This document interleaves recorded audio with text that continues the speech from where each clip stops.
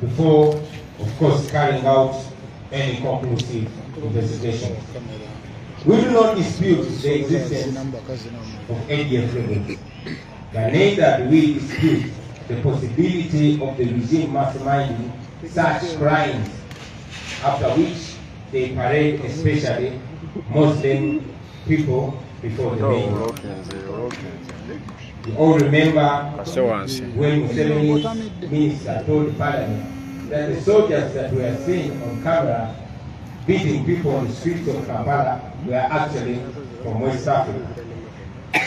You all remember that Jamil Mukulu, who is supposed to, said to be the leader of the ADF was captured on the news shouting at the entrance of the court above City Square that Museveni regime is the one that gives them money and weapons to the ADF rebels. You also remember that Idi Amin's son, Lumumba Amin, made a video last year suggesting that it was Museveni who murdered Ben Chiwanuka in the 70s. According to him, Museveni was seen driving a car registration number UUU 171 in which Ben Chiwanuka was abducted and later murdered. Museveni went ahead in his book showing the mustard seed to reveal that he was actually the one who was driving that car on the day which his terrorist group was raided by government soldiers. So, your guess is just as good as mine. You also remember the confession by General Kaindo Tafile that during their bush war days, Museveni and his bandits would raid villages, rape and kill civilians, and then blame it on the Okote government in order to have the population turn against Okote. And even today, you all are aware that the regime predators struggle for a greater Uganda and for freedom and democracy. They hire hardcore criminals like Sobi to do the dirty work of them. And of course, they eliminate them after using them.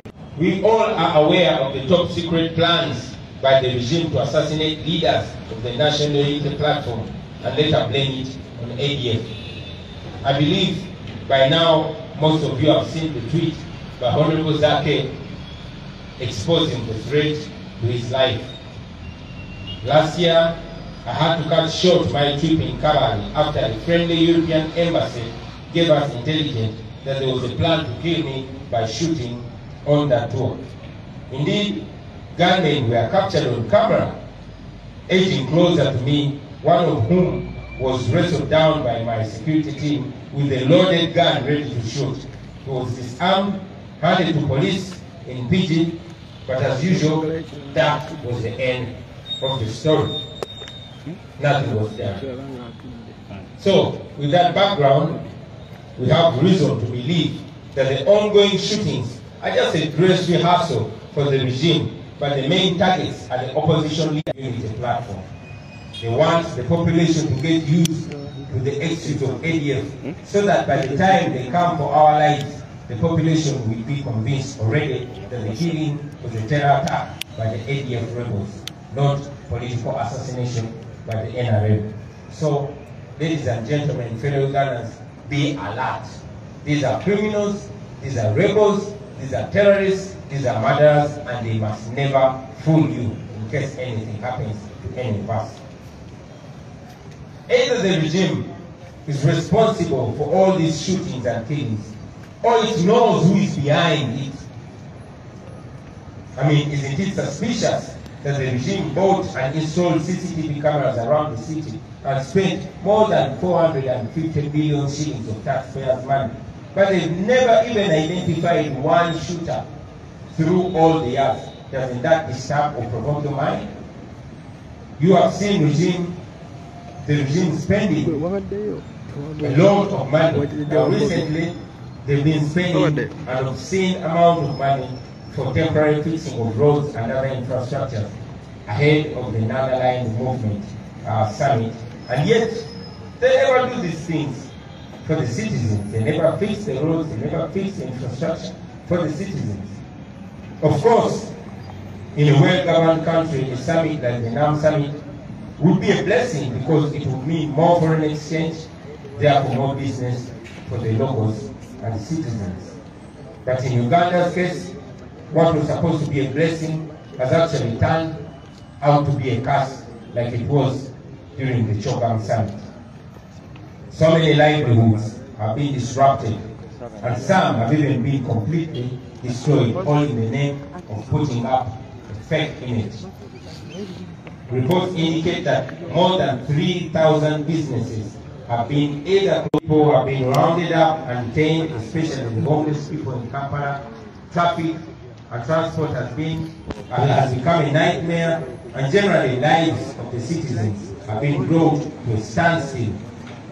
All this has been done in the name of the NAM summit, whose benefits are actually limited to a few political elites who are making a kill out of it.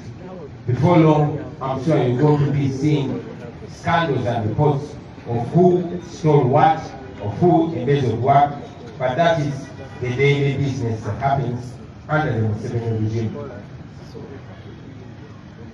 I also want the democratic leaders that are invited that are attending the NAM summit to know and understand that are actually ruler. Yes, an illegitimate government which is holding people from gunpoint against their will. You have seen uh, the government to the international visitors to the extent that Museveni's minister, Chris Baryomusi, actually ordered the people of Uganda, the suffering, the hungry and angry people of Uganda, Baryomusi ordered them to smile forcefully when the visitors come so that they can, you know, pretend to be happy, pretend to be comfortable. Friends, I'm requesting you to use this opportunity and every other opportunity to expose this regime and to expose the reality that indeed Uganda is bleeding. We must do everything possible for the world to know that Uganda is bleeding because this is yet another opportunity. No wonder they're forcing us to smile because they want to cover up their mess. We must continue calling upon the international community to stop financing Museveni and his oppression against the people of Uganda.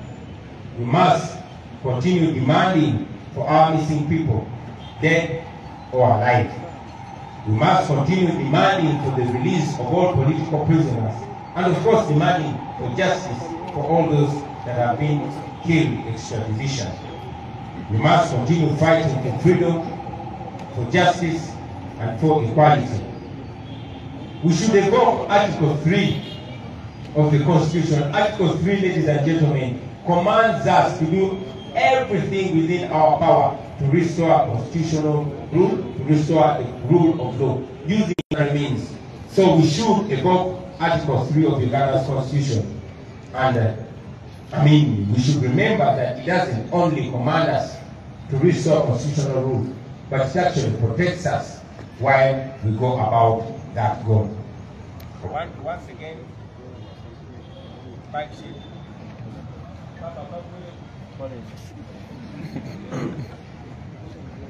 Chief. Yeah, Omania Parliament also I was going to uh, project. Um, yeah, I was asking you to not stop demanding what's rightfully ours, to continue fighting back. We must continue mobilizing and organizing ourselves at all levels of society so that we can together put an end to this dictatorship or we shall continue to be slaves. We need to fight for our freedom, ladies and gentlemen, because nobody will fight for us if we don't do it for ourselves. Remember, the struggle continues. This is a new year. Let us, and let us engage another year. Let us do everything possible and let us start now. Thank you, ladies and gentlemen, for God and my country. Um, mwebale nnyo basebe ne bajjamu jakuja bajjamu katonotono then oluvannyuma lwa byonna eza tujja kufunayo ebibuuzo ebiva emuli basebo ne bannyawo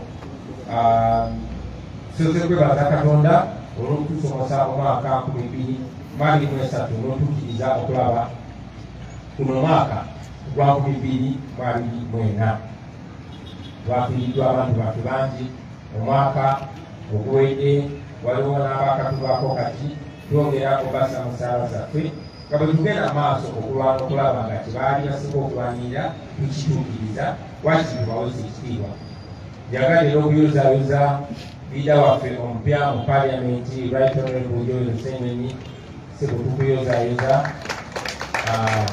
tweraba nnyo etukulaba naffe twerabamu gwe era tukusabira katonda tukkiriza wamaanyi gwe n'entimuyo ebibuuzi by'abantu ba bulijjo biwulike biwulikike nebayayamira biwulikike okuloya paliamenti obuweereza bwammwe omwaka guno njagadde tutandike nga tujjukira bwetuyise mu mwaka oguwedde ate nga bwetunuulira ebiseera eby'omu maaso omwaka oguwedde nga bwemujjukira nga bwemujjukira wabaddewo obubbi bungi naye ate obubbi obwasinga okukwata ejjembe obubbi obwenyingirwamu vice president wa museveni prime minister wenabbanyo nga bagabana ebintu ebyali birina okuyamba abantu abonaabona abekalamoja omwali namulaati abantu bekalamoja baali bafa eno bano baali ku munyabo kyanaku nnyo ofcourse amawulire gatulaga nti abantu abasukka mu lwenda bebafa enjala ekalamoja ate ngaera kikitundu ekyasinga obwavu mu uganda. Okuwamba abantu baffe kweyongera maaso mu mwaka oguwedde era ngaabo abasobola okusumatuka ne bakomawo batumiza olugero olw'ennaku ennyo. Omwali okutulugunyizibwa n'okukwatibwa okukakibwa okwekakakibwako ate nga okukwatibwa kuno tekwali ku bakyala bokka wabula kwali ne ku basajja. Mujjukira nti omu ku bannaffe webayita alex faiwa yavaayo ye n'amalirira n'ayogera ebyamutuusibwako. Omulenzi ono yatuusibwako ogw'obukisamaanyi ng'ali mu cmi omulenzi ono abasajja ab'amagye bamwekakaatikako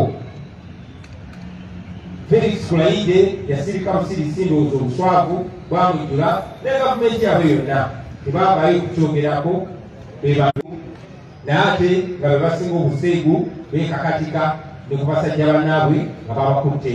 Ekyo tukyalinze felix kulaide omwogezi w'amagye okuvaayo okukyogerako naye ngira bwe mulaba obuswavu bubadde bungi nnyo bakyatya okuvaayo okwogera ku nsonga eyo. Tugenda kulekerawo kujuliza bannayuganda bikolobero basajja abo tebali kukola ku bantu baffe. Bannaffe bangi bakwatibwa nga omuli wuma lumagala omuli muyoni n'abalala ne basibwa eruzira era nga kati bakyaliyo nga bavunaanibwa okutuwagira bavunaanibwa okuba opposition. Naye ate nga tewali na due process egiri mugenda maaso. Mwalaba nti omwaka oguwedde onego sekirinya ne onego sewanyana bayingulwa mukomera oluvannyuma lw'okumala mukomera emyaka ennaku bitaano mwabiri mu nnya. Ebbanga erisukka mwaka omulamba nga bali mukomera bayimbulwa naye ate bannaffe abalala omuli olwija lutaya macete segunja n'abalala bo bakyakozesa amakomera bakwatibwa ng'okulonda kwa bbiri abiri mukakagwa ne basimbibwa mu kooti y'amagye newankubadde si bannamagye naye paka kati omusango gwabwe ekutandikanga kutwejjera twalaba omwaka oguwedde nga bannamawulire batisibwatisibwa abamu ne basibisibwa. Twalaba banaddiini bangi omwaka oguwedde nga batisibwatisibwa abamu ne basibisibwa. Ate abalala ne babaleetera okugulira enjiri ngaekirungi tebafuula ekibi ate ngaekibi tebafuula ekirungi. Tulabye ebyenfuna by'eggwanga nga byonooneka n'ebyenkulaakulana nga byonooneka olw'obuli bw'enguzi n'obwenkola etakwatagana na enkulaakulana bweyina kubeera olunaku lwa mawanga gonna gonna agali mu nsi agasuka ekikumi mu ekinaana uganda yasatu munaana obuli bw'enguzi. Kwegamba uganda esingako ensi asatu munaana zokka obutya bya nguzi memuli za afghanistan memuli central african republic n'endala failed state bwoba obala uganda yasatu mu munaana.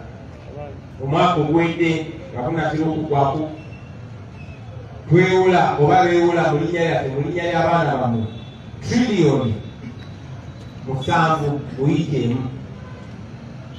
Triliyoni etegeeza biliyoni lukumi biliyoni etegeeza miliyoni lukumi olunaku lwaleero buli munnayuganda nga otandiko n'omwana ow'olunaku olumu abangibwa biliyoni amini miliyoni bbiri bw'oba wazadde kapebiko nga kalunaku lumu oba kawiki bakabanja miliyoni bbiri esente zonna zonna zeewulibwa naye nga zibulira mu buli bwaguzi kubanga zikozesebwa ku mafamiri ya museveni ng'erikakateko ng'enyumirwa.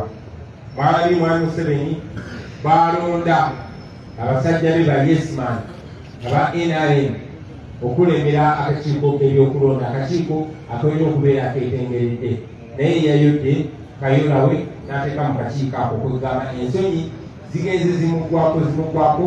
Katakyaswala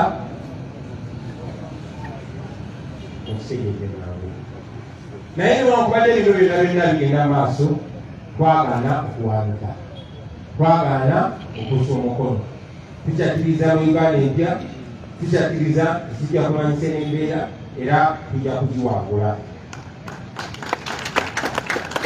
balaba omwaka ogwedde wetwatalaga wetwakola np country wide tour obukadde n'obukadde bw'abannayuganda baavaayo okutulaga obuwagizi okutulaga nti bakkiriziganya n'emeseji yaffe n'obubaka bwaffe obw'okwenunula wetwalonkinga ofiisi yaffe eno ey'ekitebe ekikulu abantu bangi mu nkumi n'enkumi baavaayo okutulaga obuwagizi twalaba n'obuwagizi obw'enjawulo okuva bannayuganda bannaffe abali bwegwanga bakolere n'abawanga njeeyo kosa n'emikwano gya uganda abatali bannayuganda naye nga bayimirira naffe okulwanirira eddembe lyaffe. Omwaka guno ogwedde twatongoza ne documentary firimu yaffe basebo ne banyabo twalukwata si firimu nzanyi wabula ebyaddala ebyagenda maaso bituyiseemu nga tulwanagana ne museveni naddala mu kalu akabbiri mwabiri mu gumu mumanyi bulungi nnyo nti museveni abadde afuba nnyo okulaba. Ti ebintu ebibeera e uganda tebifuluma ensonga lwaki intaneti bagijjako ensonga lwaki bannamawulire babakuba emiku ensonga lwaki atya nnyo kamera. Ate mbadde ngambagamba ti kamera yo kyekyokulwanyisa ekyasinze okubeera ekyamaanyi kyolina so twafuna omukisa ne tulonkinga documentary eno era tufuna n'omukisa negenda ku lutimba egagadde lwe bayita national geographic channel. Basebo ne banyabo twafuna omukisa nti eno documentary kubanga yali yabyewunyo abantu bangi mu sio n'abalala tebaali tebasuubira. Eno documentary yagenda mu maaso ennaku bbiri eziyise newangula awaadi eya cinema eye e new york tebuguddeko yali yawangula ne awaadi ya mu awards ebayita international documentary awards. Era nekyayo bategeeza nti eri ku lukalala lwezo ezirondobwamu mu awards eza oscars. Kitegeeza ki kino? Kino kitegeeza nti eno firimu eyakwatibwa. Kitegeeza nti luno olutabi olwakwatibwa ne lutabaala ensi yonna kekazito lyesekonde erikyasinze okuba museveni kukyanga bawambasi yaffe okukolera ana mukaaga nga bwe bagambye nti asipendinga sente nyingi nnyo okwetoola eggwanga okwetoola ensi yonna ng'asasula zirobis companies ez'ebbeeyi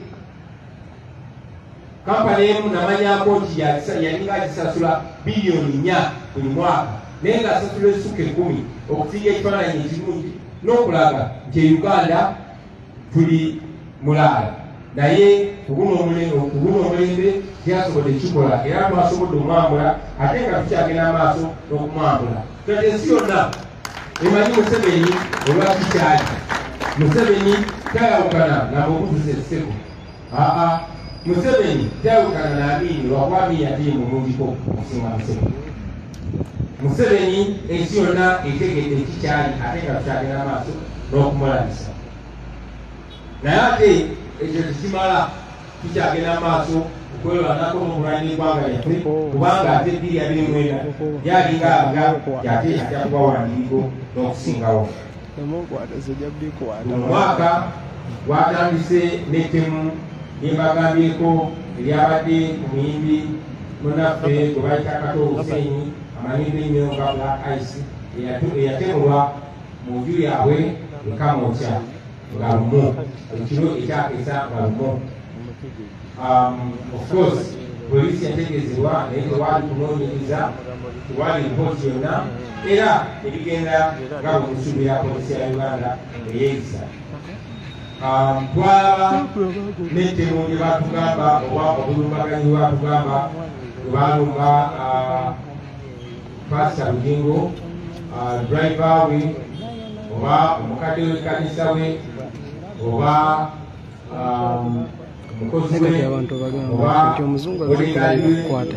oba assistant we batugamba bingi naye Soko wandike. kwamanya omusirikale wa era wa SFC ngamba Um, mm, I'm a lady from Canada obulumbaga nnyo nti obutafaananako nga ekibadde ebulumbaga obulala abadde omuyezukwabani buuza ebibuuzo ebikakali oba okwatibwa olungi luno ewabadde ebibuuzo ebikakali yakuziddwa ewabaddewo nti yena yakwatiddwa.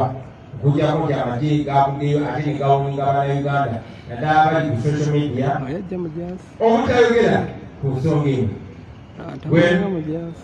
Tekyewunyisa kulaba bannayuganda abamu ate bo basazeewo okunoonyereza bakutwali mu mikono gyabwe muli obaddewo gavumenti ya museveni ebadde evaayo nnyo mangu nebuteekako adf era wajjawo akaseera akatono ne bayolayola bannayuganda okusinga abasiraamu ne babaleeta ne babakareedinga maaso ga bannamawulire tetugamba tewaliyo adf era gitaddeko kamera tetuwakanya kubeerayo kwa ADF naye era tetuwakanya ensonga nti kisoboka okuba nti gavumenti ya museveni yekola bino byonna kisoboka okuba nti gavumenti ya museveni eida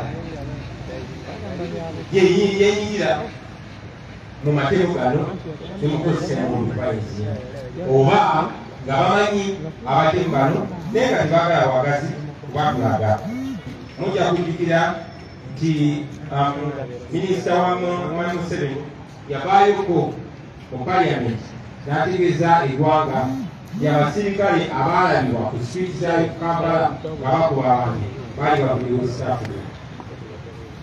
mulabikira nti jamii omukulu gwatugamba nti akulira adf yakwatibwa ku mawulire ng'awoogana ku koja wakakuste square ng'agamba nti museveni gavumenti ya museveni yewa sente n'ebyokulwanyisa abayekera ba adf bati amawulire gakisaagasiira mujjukira ne mutabani wa hussein omumba amin bwe yakola vidiyo mwaka ogwedde n'alutegeeza nti museveni yeyali yawamba era yakola omugenzi benti waluka kubanga emotoka eyuyuyuyu emu musanvu emu mu myaka gy'ensanvu kusema ingara wako ukayageuka ni mbali atenge moto kweli yaliyowakuja wamba benki wanuka ilanga polisi uganda polisi ebiseera yali yagije kabiwandiiko byayo ekyewunyisa nti ne mwami museveni mu kitabo kye tebayita sobimasansi yavaayo nakkiriza nti eyali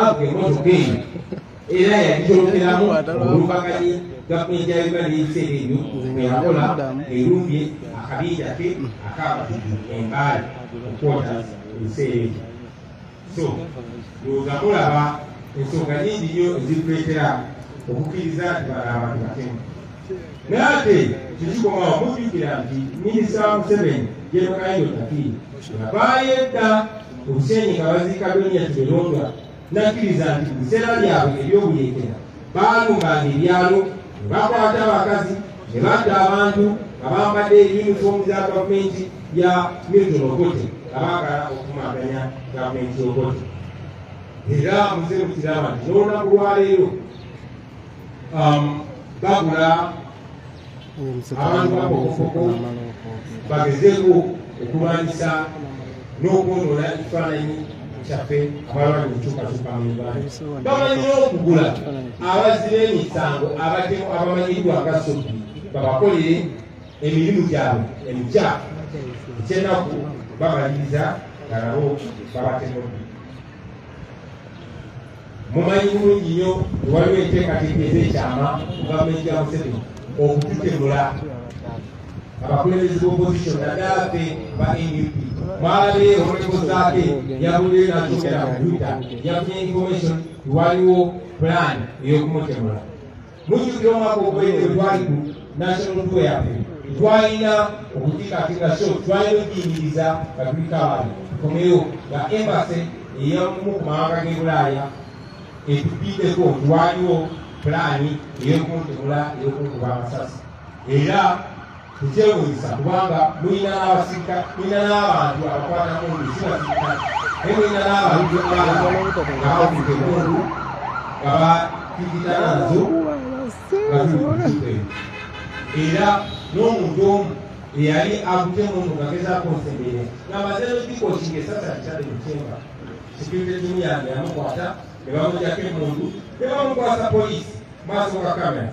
Era nga bulijjo yaggweyawo naye poliisi nembuuzaawo bwetyo so njagala mumanye nti bano abantu balina okuba nga bali mu kutegeka bwongo bw'abantu bateekawo nsonga za adf fe obwongo bwaffe bulobere ku adf basobole okulumba okutemula nga mujja kulowooza adf yetemule so temubongoota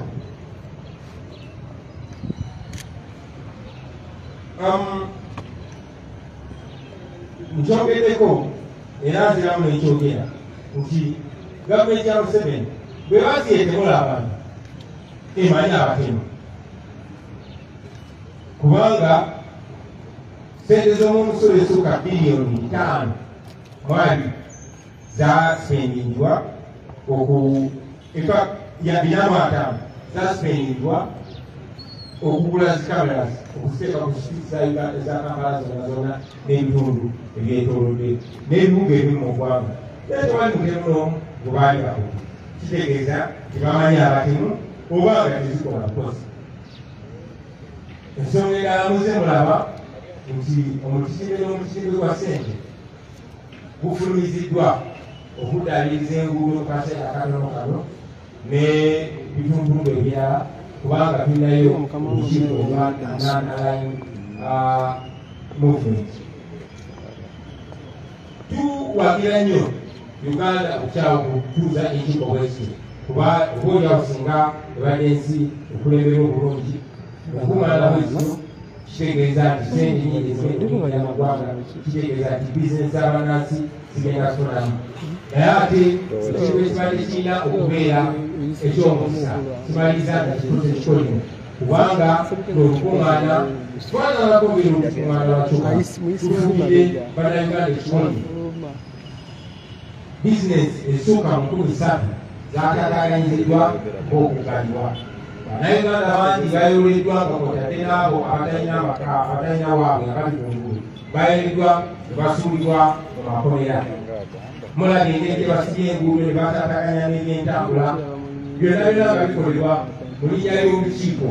Ate nga balufuna mbeeba ab'olubatu abatono bannanyinizi woteeri bannanyinizi shopping mall bannanyini bintu ebifunibwa kusozi bannansi ekyono kyanaku nnyo nti uganda tekyatunuulira bigenda kuyamba abantu bannansi baayo wabula ate etunuulira ebyo bigenda okuyamba abantu abatono ab'olubatu ebyo nga biriku ebityo basema ne banyabo tusigala tukyalimeddeko tusigala tukyali ku mulama wamutwe njagala kumaliriza ng'abasaba obutagwa njagala kumaliriza ng'abajuliza nti bwe mulaba bayidde awo wenyiwe bamukwatiraddala mwalabye nga minisita museveni balyomonsi avaayo ng'alagira bannayuganda okuseka oba enjala ekuluma oba onyize oba wasetulidde olina okuseka nga bazze. Baleme kumanya bimwe bimuyirizo kakati ekyateze enjagala kibalage yate mwe mwina kola ekiri opposite bano abantu baagala balabisa mbasaba mubalabise mu ngeri yonna yonna esoboka tugende maaso nga tulaga amawanga gonna agatwetoludde ago museveni gavamu sente ago gaali balema nti kimu kimulaala wano mu uganda mukozese buli musa gonna gonna okubalabisa omwaka guno njagala okubasaba tusonge nnyo olugalo ku nyingo namba ssatu ya constitution yaffe enyingo namba ssatu mu constitution etulagira okukola buli kimu kyetusobola okuzzawo enkuga ey'amateeka bwe bwewambiddwa mukimanyi tuli mu buwambe enkuga gyebatugiramu si amateeka. So constitution etulagira. Egamba tetulina buwezi tetuli buwezi batembe kulwana kukozesa ngeri yonna yonna kuzzawo enfuga ey'amateeka. Wabula kitukakattako naye tetekomawo etwana obukuumi protection. Nti omuntu yenna yenna ne bwaba akwatiddwa ng'alwana okuzzawo enfuga ey'amateeka tabeera na musango ensonga lwaki tosangangayo omuntu alwana kujjako museveni kooti bwesalire musango tikukusinzi tekisoboka kubanga constitution etulagira okulwanyisa museveni dikiteeta okumugjawo protectinga bwoba okwatibwa kasitewo kakasa yobadde olwanyisa bannakyembalira amateeka gakuprotectinga basobola okukuguma kulima basobola okukuma emigo naye tebasobola kukusalira musango nibukuka buvi kubanga obeera okola ekyo constitution kyekulagira so njagala okubasaba muleme kugwamu maanyi tukole buli kimu kyetusoboka njagala okubasuubiza and i want to say this in english as well that we can only promise we as nup and of course together with other forces of change to work so hard to ensure that we weaken dictator Museveni and ultimately to cause his fall. That is the